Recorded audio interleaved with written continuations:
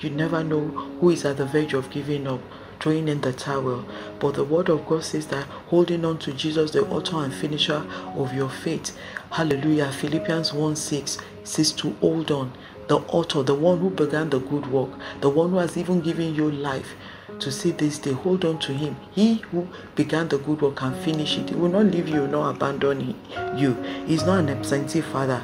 Hold on to him. You take one step at a time. Put your feet where Jesus has, has walked in obedience without looking to the right or looking to the left. The Bible tells us in Proverbs 4 25, it says, Keep your eyelids before you, you know, so you are not distracted.